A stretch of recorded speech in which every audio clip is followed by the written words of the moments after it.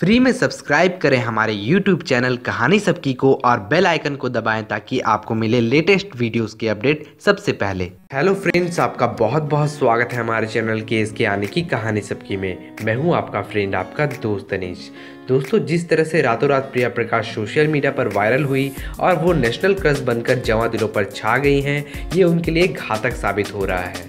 ऐसा मेरा कहना नहीं है दोस्तों, ऐसा कहना है खुद प्रिया प्रकाश का।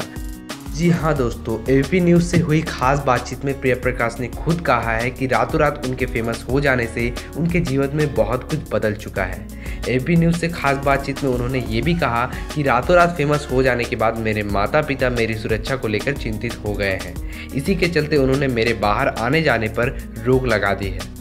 उनका कहना है कि मैं अकेले बाहर आना जाना ना करूँ, क्योंकि बाहर मेरी सुरक्षा को खतरा हो सकता है दोस्तों।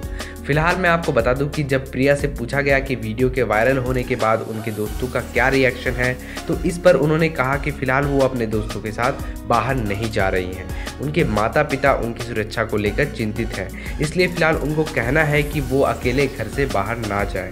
वहीं दोस्तों, वीडियो को मिले बेपना प्यार पे प्रिया ने कहा कि मैं इस रिस्पॉन्स से बहुत खुश हूँ और साथ ही मैं काफ़ी नर्वस भी हूँ।